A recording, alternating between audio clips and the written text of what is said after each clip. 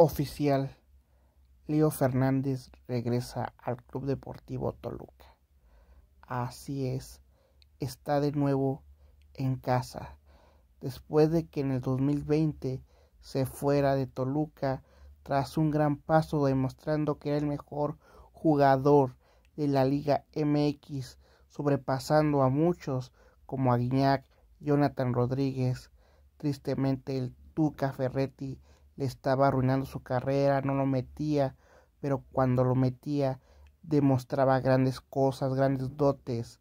Sin embargo, aún así, el Tuca nunca lo consideró, al igual que Miguel Herrera.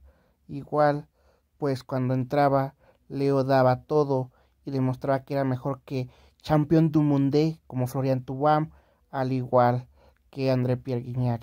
Él junto con el Diente López habían hecho una mancuerna que era de respeto y que le sacaba grandes resultados a Miguel Herrera.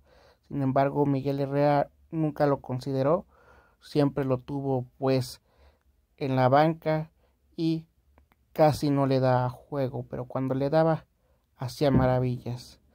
Ahora bien, esperemos que llegue con la número 10 al Club Deportivo Toluca y qué bueno que regresó a casa. Dice esa frase Muchos regresan al lugar donde fueron felices y Leo Fernández fue uno de ellos.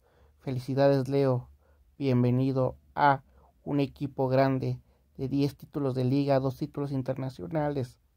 La verdad, eres grande de grandes. Respeto y admiración. Futuro capitán del Club Deportivo Toluca, demuestra que eres la combinación perfecta de Ciña y Vicente Sánchez. Bienvenido a casa, Leo. Muchas gracias.